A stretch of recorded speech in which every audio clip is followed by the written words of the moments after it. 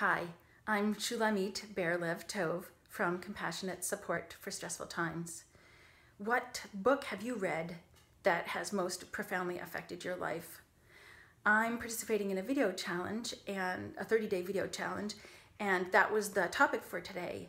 And the book that has most profoundly affected my life is this one.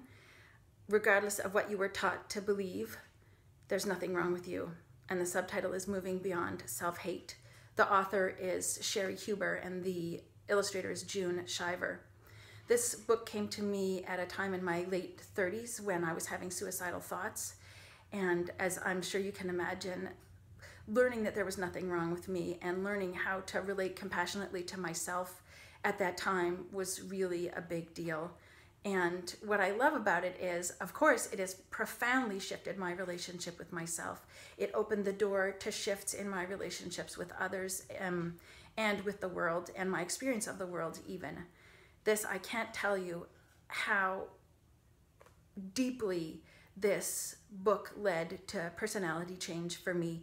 And I'm hoping by sharing it with you that you'll have an opportunity as well to check it out and maybe read it for yourself.